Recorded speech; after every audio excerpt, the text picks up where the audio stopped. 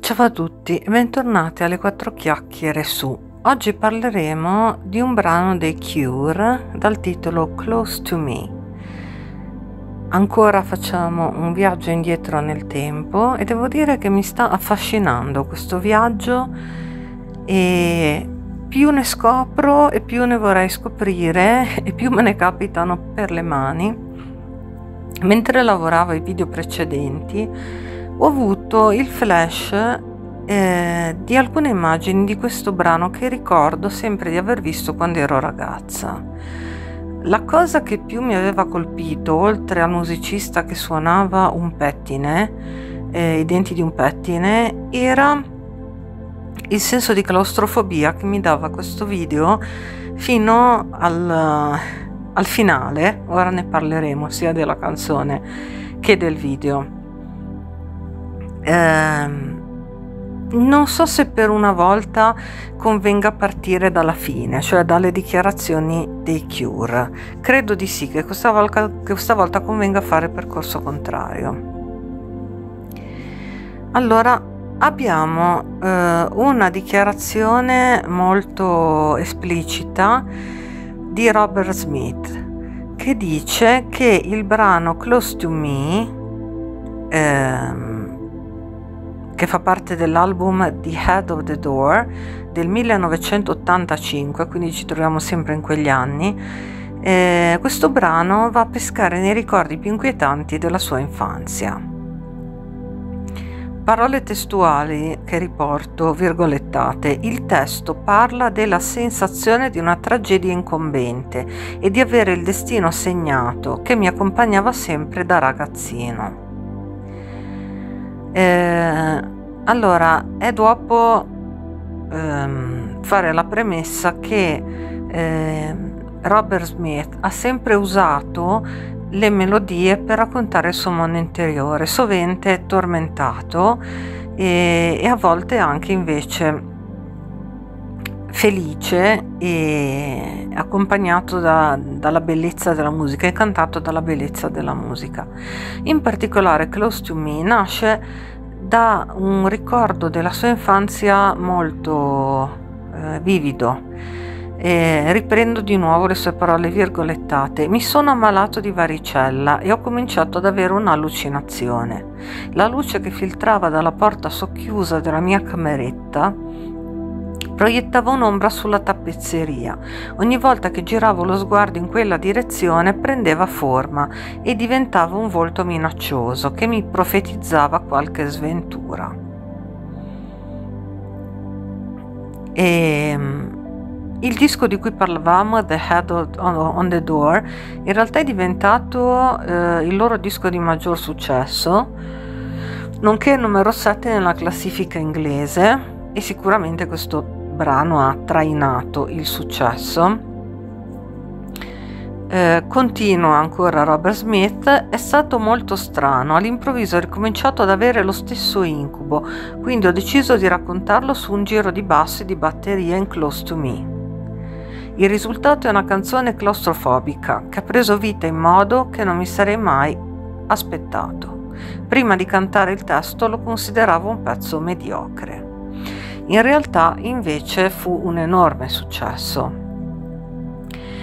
Il testo, a mio avviso, ci racconta una parte della storia, nel senso che ehm, è animato soprattutto da sensazioni e flash, probabilmente di questo incubo infantile. Ehm, ma il video forse racconta più di quello che il testo mh, mm, dice.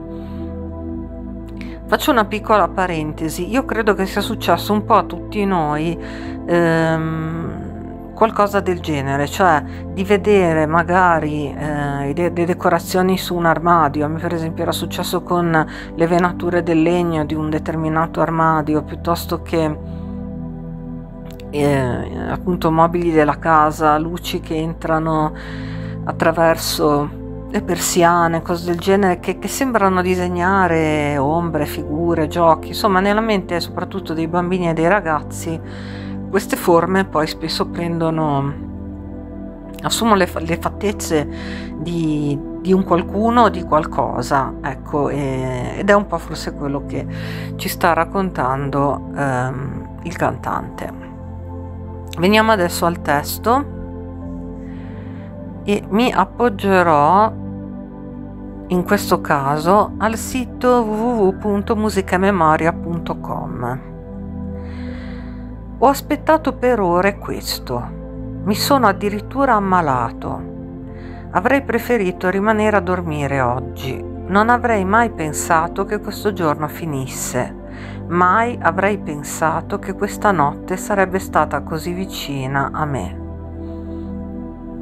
Già questa prima frase eh, credo che ci introduca nel discorso,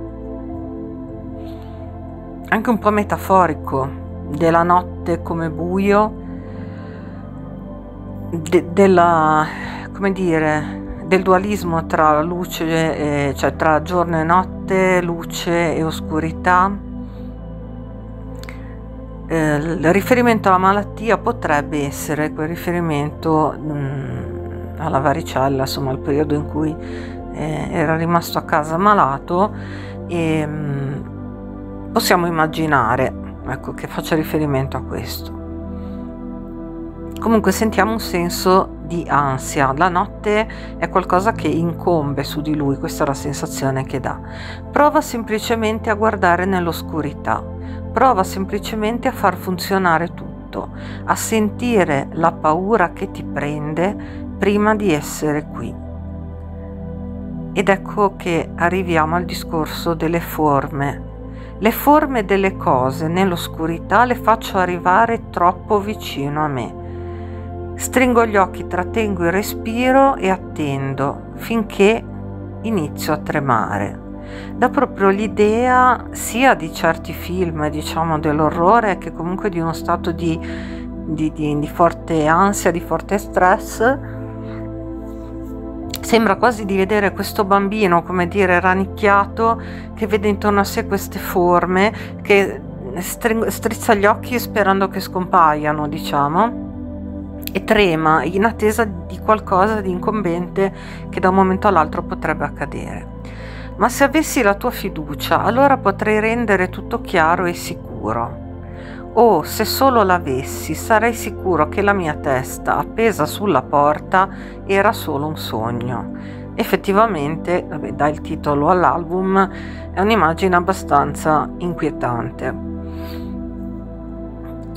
E poi ripete di nuovo tutta quest'ultima parte.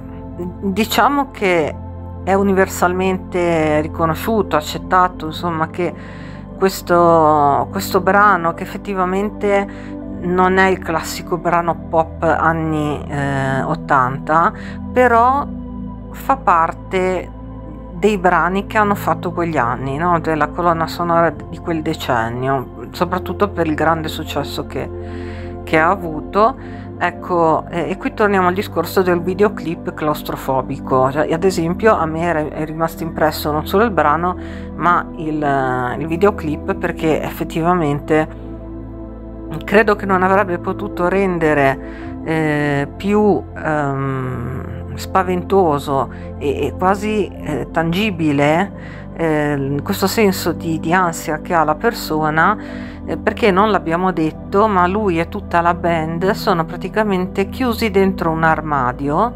Quindi c'è all'inizio del video appena ancora le porte aperte che consentono di, di vedere eh, che sia appunto su una scogliera si intravede il vento il mare eccetera. Poi si chiudono le porte dell'armadio e loro sono schiacciati in questo spazio veramente claustrofobico eh, tra cravatte, calzini e quant'altro, ognuno con il suo strumento e in posizioni veramente innaturali per stare chiusi lì dentro, quindi col collo piegato, con, eh, incurvati, eccetera e, e abbiamo il cantante appunto che suona i denti di un pettine come se fossero uno strumento musicale. Potendo ad aumentare il senso di fastidio di claustrofobia appaiono eh, delle piccole marionette, quelle che letteralmente si, si infilano sulle dita e, e, che somigliano vagamente al cantante e agli altri membri della band e anche queste marionette appaiono e scompaiono a ritmo di musica. Quello che rende eh, ancora più um, incredibile l'insieme è che eh, apparentemente nessuno di loro fa nulla per uscire da questo armadio e, ed è forse una cosa a cui nessuno ha pensato, almeno non, mi è mai capitato di sentirlo dire. Cioè, come dire, continuano a starli dentro. Nonostante questa situazione eh, si intravedono appena delle lame di luce che entrano probabilmente da delle fessure e, e, e loro lì dentro battono le mani, eh, soffiano, suonano una di quelle tastiere elettroniche, eccetera. E eh, anche se si avverte come un, una volontà interna soprattutto de, del cantante di venirne fuori, cioè come se avesse una rabbia repressa, tant'è però nessuno fa niente per uscire dall'armadio.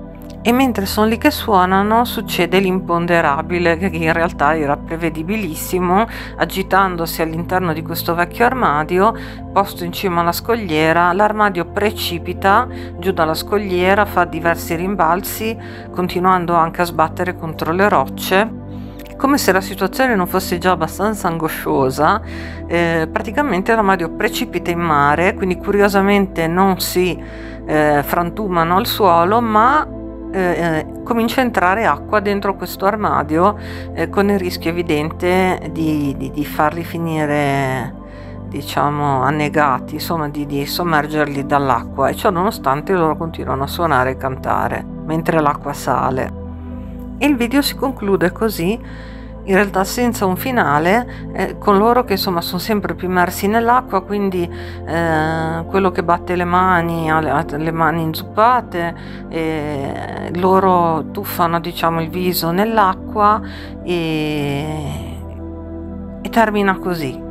Quindi se, se, non ci fosse tutta la spiegazione a monte che ci dice che in qualche modo si tratta di un incubo, eh, effettivamente sembrerebbe una, una sequenza spaventosa. Ecco. E concludo qui queste quattro chiacchiere, spero di avervi piacevolmente intrattenuto anche oggi. Se siete arrivati alla fine, grazie perché mi rendo conto che dopo 3-4 minuti eh, un video può anche cominciare ad annoiare e vi do l'appuntamento alle prossime quattro chiacchiere.